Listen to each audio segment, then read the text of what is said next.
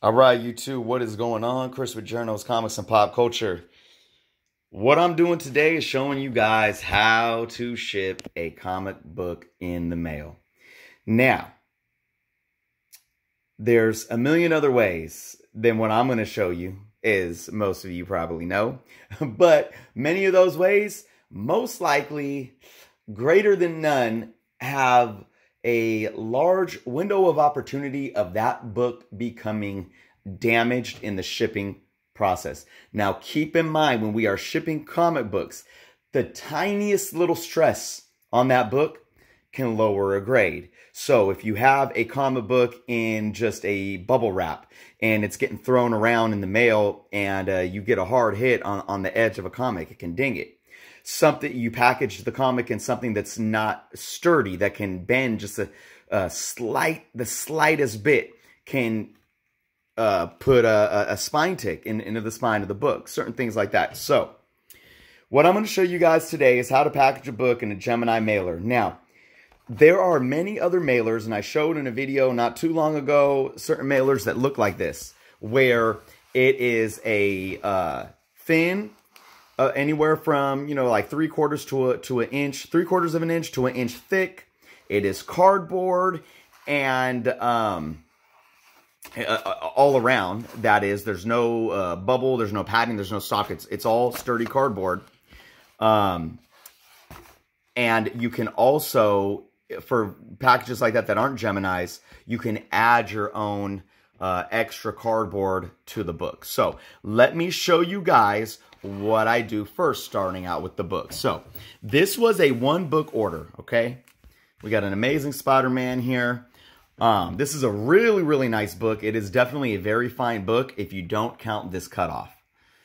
Um, I sold it for like six bucks. Um, so yeah, somebody somebody cut that out. Um, but other than that, it's a beautiful book. Um, now, what I'm going to do with this book is I already put it in a uh, poly bag and I have it double boarded. I have two boards in here for extra protection. Oh, I got a little, I just threw that in there. Um, so just pretend that's not there because uh, it's not going to do anything to change how I package this. Now, what I have under this book is two regular backing boards, okay? No matter what I do, now say this was multiple books, I'd be doing the same thing up to three books, okay? If it's up to four, then, then it changes. So this is going to be from one, two, to usually to three books, okay? I take a backing board and I sit one behind the book, or if it was two or three books, behind the books, just like that. I'm going to throw this little flyer in there just to give them some little cool little flyer that could be used as a bookmark. I'm going to take a separate backing board and I'm going to put it on top. Now, as you can see, I already put some painter's tape here. So what I have here is a backing board behind and on top. And then I don't use, now there is tape on the back of the poly bag. Usually, I already had it here, and I'm not going to like rip the bag and take the, the regular scotch tape off. But usually when I pack uh, package a book, I put it in a fresh poly bag and I put fresh tape on it, and that fresh tape would be painter's tape on the back of this.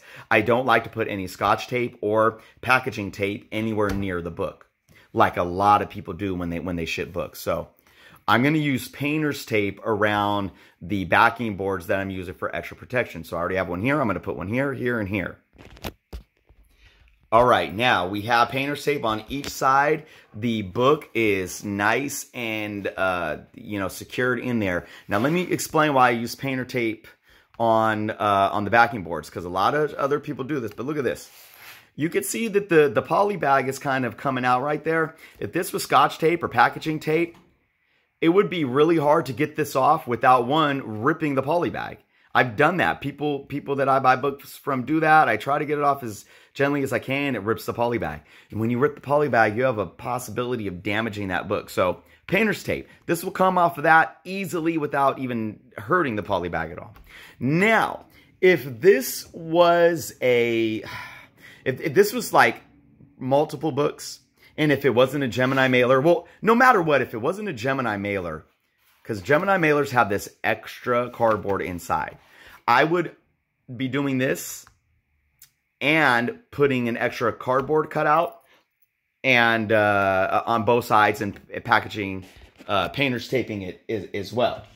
For example, something like this. If this was not a Gemini mailer and was just a regular cardboard mailer, I would be putting it, after I put it in the extra backing boards, I'd be putting it in a sandwich between two cardboard cutouts, and I would repeat the same process, painter's tape, painter's tape, painter's tape, painter's tape. Boom. But since it's a Gemini and it already has extra cardboard in there, I'm just to leave it in the backing board. So uh, what we do, many of you, I'm sure, have seen Gemini mailers and have seen the uh, extra cardboard they have uh, inside. So I'm to stick this right in here. Okay. Now, before I close this, though, Again, I'm going to use not packaging tape like many do. I'm going to use painter's tape to secure this book to the Gemini mailer. So in the process of, uh, you know, in the shipment process, it's not moving around. All right, now here we go. So I got painter's tape on all sides that is attached to the cardboard of the Gemini mailer. This book is extremely secure. Now, if this was uh, uh, a book that I had in the two cardboard things, um, inside the uh, mailer that does not have the extra insert like this, I would still use painter's tape on those cardboards attached to the package, of course. So we're going to close this up. And now, this part that, that closes over, I am going to secure this with packaging tape because now we're really far away from the book for packaging tape to really do any damage. So this is where I do start adding packaging tape. I'm going to put some packaging tape uh, right here uh, on the front and that basically secures my book. All right, so I don't know if you guys can see that, but it's there. We got the packaging tape right there, and then once I put the packaging tape on, I put an extra uh, painter piece of painter's tape here, an extra piece of painter painter's tape here to uh, secure it even more. So there it is secured inside there. And of course, the last step is closing the outside of the Gemini mailer. So once you get the, the overlap closed, you want to get some packaging tape on this. And then what I also do is I make sure the packaging tape wraps around to the front so it's extra secure on both ends. So I'll show you what that looks like. All right, so now we have a packaging tape along the back. It is closed, and I made sure it was long enough to where it wraps over the front. That's what I was talking about there, right there, and right there. So now I'm, I could shake this all around. That book is not moving at all. It is not opening.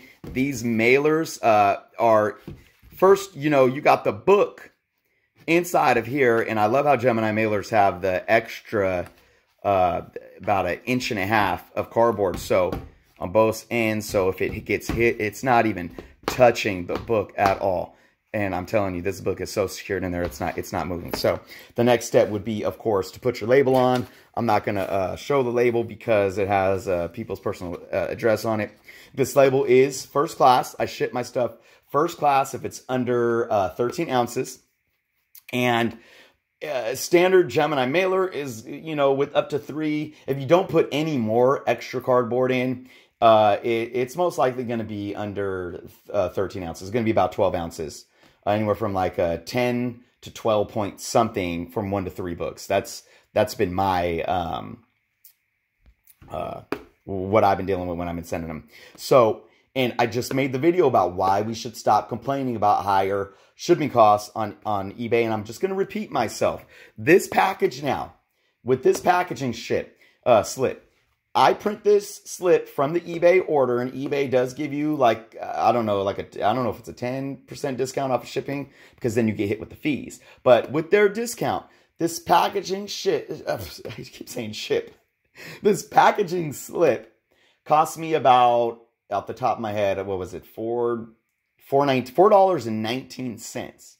Okay, And I charge 675 from for one to two books. I, I charge 690 I, I add 20 cents on for a third one just because it's extra um, supplies for me. But I, I charge basically uh, 675 to 695 for a shipping slit that cost me basically $4.19. So I'm just taking in uh, a little more than $2 off of that, but that's to cover the cost of packaging, tape. Tape is not cheap. You buy the these things right here cost like four bucks from the post office, and I mean they don't last that long. Uh, you got to buy your mailers. Uh, if you're using bubble wrap, you got to buy your bubble wrap. I print from my own computer. That that's ink. Ink is not cheap.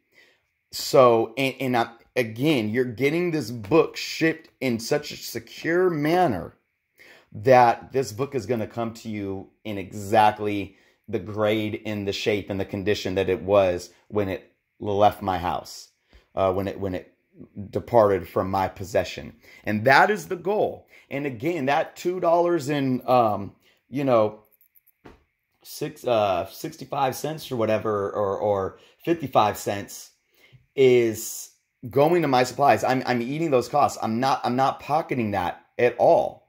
So that's why there's a little bump up in the shipping um, be, be, because it covers my costs and the eBay fees and the PayPal fees. So I could I could package this book the same exact way, and I could pay like two dollars and eighty cents for uh, media mail, maybe upcharge to you know uh, four dollars uh, for the buyer, and it saves them a couple dollars. But then you're waiting seven, ten, twelve days for your books and who knows what can happen with media mail? I mean, you know, because technically you're not supposed to be shipping comic books via media mail. So, uh, I mean, hey, it's a couple bucks, right?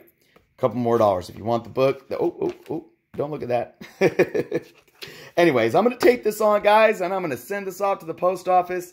That's my spiel, guys, and I know I, I kind of went into detail. It was kind of long, but but hey, you know, I just for those of you selling out there, you know, me as a buyer, I get so many books that are damaged because they're packaged crappily.